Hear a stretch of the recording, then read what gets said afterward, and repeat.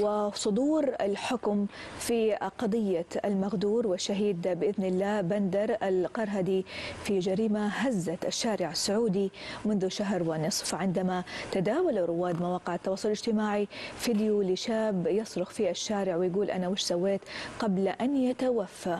إثر إصابته بحروق خطيرة بعدما استدرجه أصدقائه وأشعلوا النيران فيه داخل سيارته بجدة للوقوف على تفاصيل هذا الحكم نرحب بالأستاذ عبد العزيز القليصي مستشار قانوني. هلا وسهلا بك أستاذ عبد العزيز. حياك الله أستاذ. بداية بعد الحكم كيف كانت إجراءات المرافعة والمدة المستغرقة لإصدار الحكم والبت فيه؟ اللهم لك الحمد. أولا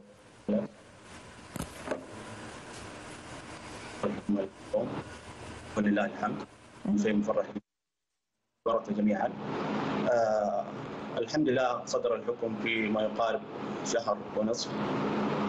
وهذا ما يدل على إنجاز المنظومة القضائية ونشكر الجهود الجبارة صدرت من وزارة العدل أو ابتداء من الجهات الإجرائية من الشرطة إلى المحكمة. وهذا تطور جميل. والحمد لله تم الفصل بالقضية. ولله الحمد. عبد العزيز يعني كنت برفقة والد الشهيد بندر لما طلعت من المحكمة. كيف كانت ردة فعله ومدى رضاه على الحكم؟ آه جميل.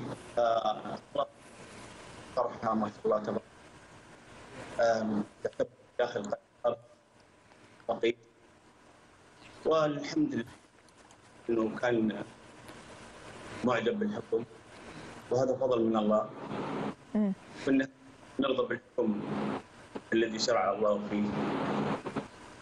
وهذا بعد توفيق من الله يعني. نعم يعني أستاذ عبد العزيز يمكن الخط بيفصل وكنا بنتكلم عن يمكن في لقاء سابق مع والد الشهيد بندر كان يطالب بالقصاص لابنه وأخذ حقه واليوم صدر هذا الحكم المنصف لهذا الشاب ولأهله بالقصاص لمن قام بهذه الجريمة الشنيعة التي الخارجه والشاذه عن مجتمعنا واللي لا نقبلها لا انسانيا ولا دينيا طبعا. كنت تتحدث عن خروجك ومرافقتك لوالد هذا الشاب الله يرحمه من المحكمة. كيف كانت ردة فعله ورضاه على الحكم؟ يا ريت لو توضح لنا لأنه الصوت كان بيقطع. الحمد لله كان الحكم أنا كشخص مبسوط جدا بالحكم كان. ووالد الشهيد والفقيد بدر القرهدي كان جدا مبسوط الحمد لله. على الحكم العادل والصادر من محكمة عادلة ومن دولة عادلة. نعم. اللهم الحمد آه طبعا آه حكم صادر ومفرح لنا الجميع. الحمد لله. وهذا كان توفيق من الله يعني.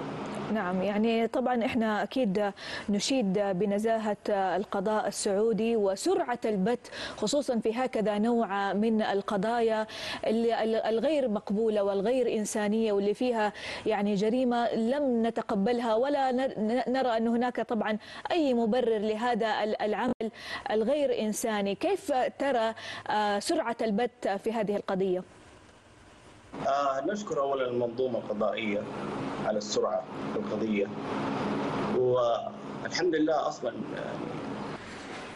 صرنا اليوم صرنا اليوم الحمد لله في صرنا اليوم الحمد لله في آه تطور جميل في سرعة التقاضي.